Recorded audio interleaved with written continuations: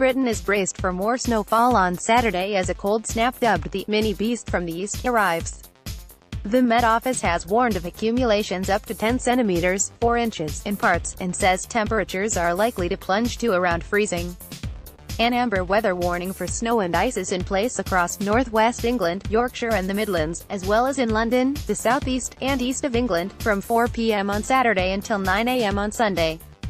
More than 70 flights to or from Heathrow Airport on Saturday have been cancelled, mostly on short-haul routes, although British Airways services to New York and Chicago were among those affected.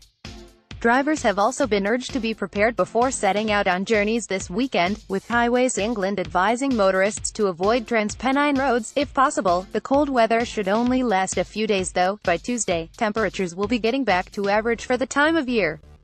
Meteorologist Martin Bowles said the weekend's weather could be dubbed mini beast from the east. He said, We don't expect anything like the same impact as a result of it, although there will be some snow about. Sunday will be a similar story, with snow and ice expected across the UK.